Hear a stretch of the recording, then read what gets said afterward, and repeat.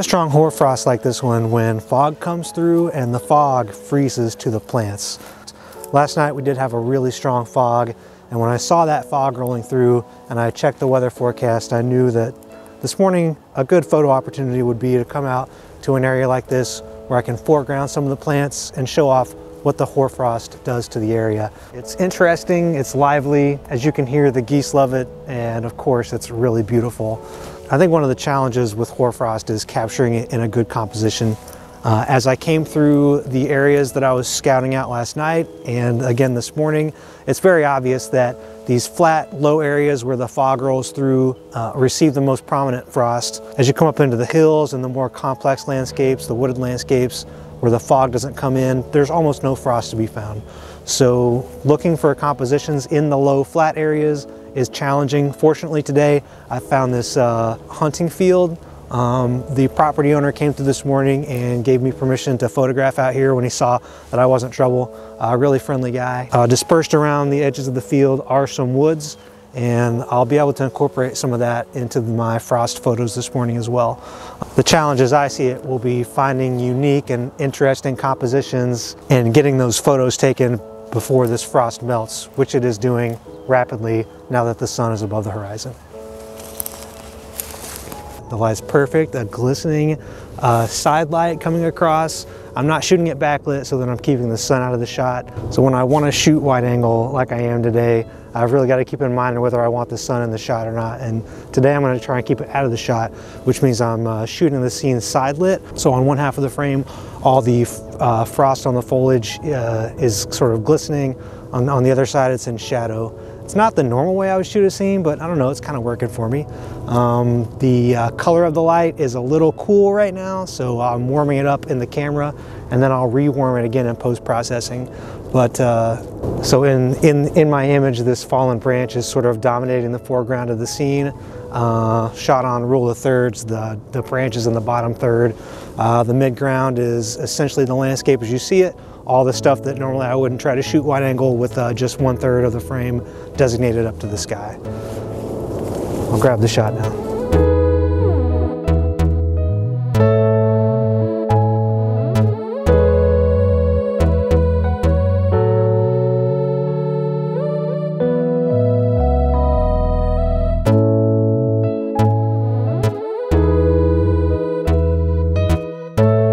This is a really cool little scene that's finally letting me get into the landscape orientation. Uh, lots of interest running horizontally through the frame, including a couple of different scenes with a path in between. So we're just shooting a field with a couple copses of woods. It's a lot of really interesting play between the shadows and the bright areas that are being backlit by the sun. Because of the frost, those areas are really bright white and the shadows are super dark. So yeah, I'm taking this at 16 millimeters and I'm stopped all the way down to uh, F20, I believe. F18 to make sure I get a good sun star.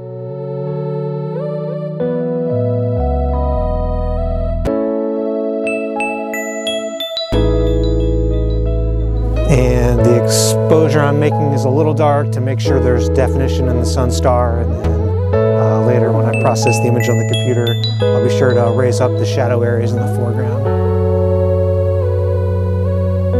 It's every bit as peaceful a morning as you might expect with the exception of one jogger I saw earlier. I hope he wasn't lost. And then one quick alternation of the composition here, as you can see, I'm walking in the scene as I'm shooting it. So rearranging the scene this way has put this smaller distant copse of trees between two of these new ones, a little negative space right here, and uh, uh, this uh, side grove is just coming into the side of the frame. So this is basically just kind of uh, jumbling everything up so it's a little more disorderly, maybe a little more chaotic, but also a little more fun and interesting. Everything's not lined out. So there's a little more spontaneity to this scene. This scene is saying, what are you doing to me, nature? What is happening here? I'm playing along in nature's cruel trick.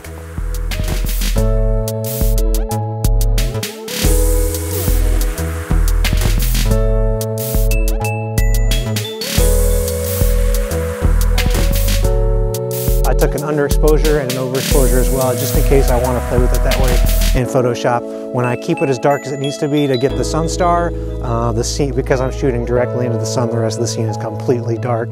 And I'm afraid that when I get home, there may not be enough detail in that part of the scene to pull the shadows out. So I took some safety exposures just to be sure I've got enough material to play with when I get it all back in the computer.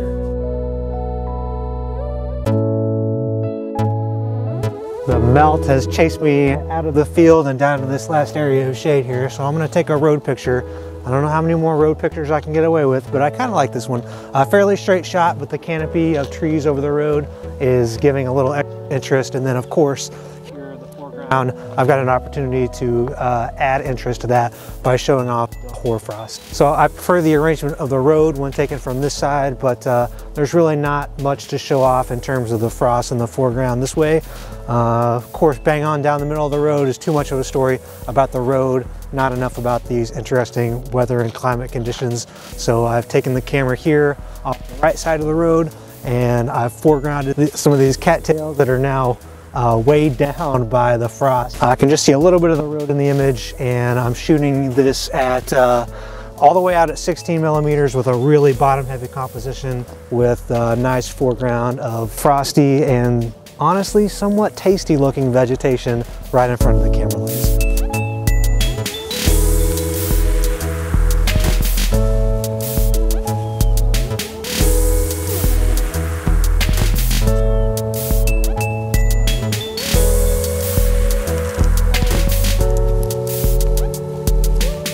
Now that I had that captured, I want to try one more with a more telephoto. So obviously as I approach the camera, I see I don't need this downward looking perspective anymore, but when you're shooting wide angle, uh, that's uh, definitely something I recommend is getting your camera pointed down to the ground. As you can see in the photo that I'm sure I just showed you, um, that's going to uh, that's going to accentuate that stuff you're putting in the foreground. You put it in there for a reason, so you might as well show it off. First telephoto lens I'm throwing on, and maybe the last is the 135 millimeter f2 and I'm going to make a special video dedicated to this lens later so if you want to learn more about the lens that I use to make the image that's coming up uh, be sure to subscribe to the channel and you'll see all about it. And because I'm not so interested in showing off the foreground now and I can't I'm going to move the composition here out of the road and more into the middle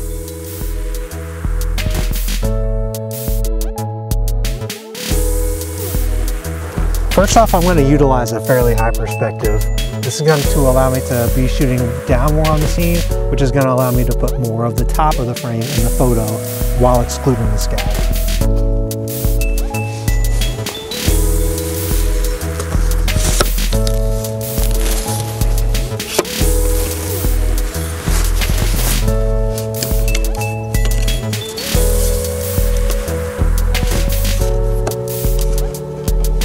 Hear that good crunchy sound?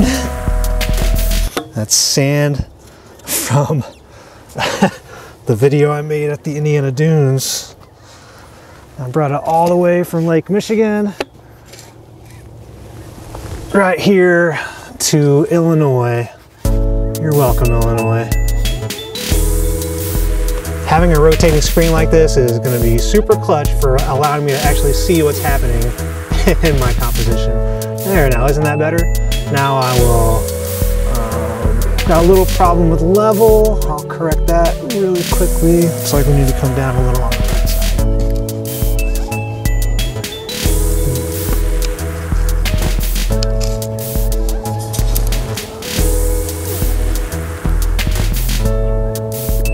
And the wobbliness you're seeing is not a problem with my tripod, it's the camera mount having a little trouble with that thing, so I'm working on it. Known, known and identified problem. Now, um, now the only blue from the sky in the scene, and I'm gonna drop the exposure just a little on here, is uh,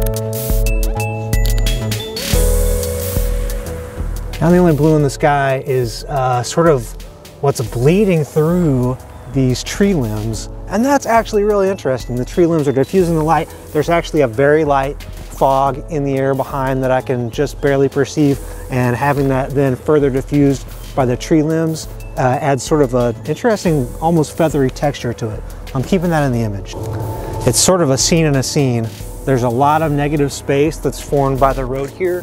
And I've got a feeling that when I recrop this for various presentations later, that part's gonna come out and the focus will then shift more towards uh, the opening in the trees that the road passes through, as well as the very interesting scene that's only hinted at beyond that.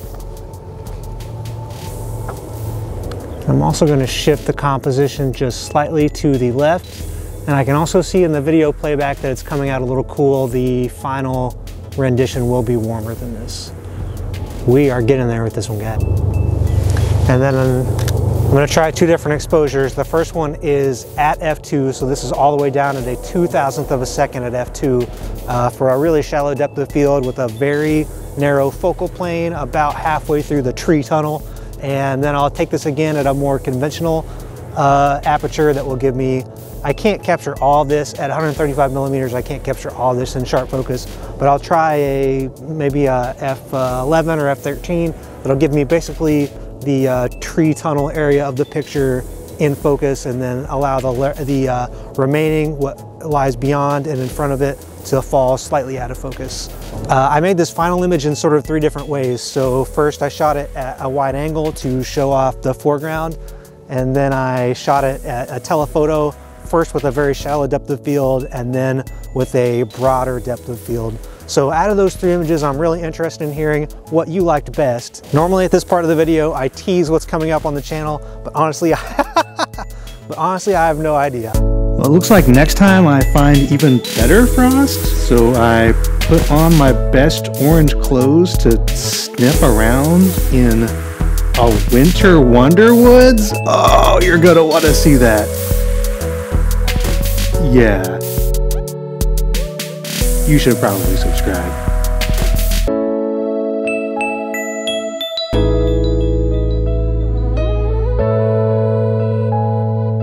So hoarfrost, interesting compositional challenges, a good way to uh, let your photography take you outside and just enjoy the fresh air. This has been flyover photography from an early, crisp, beautiful morning in Illinois. Keep an eye out and a foot forward.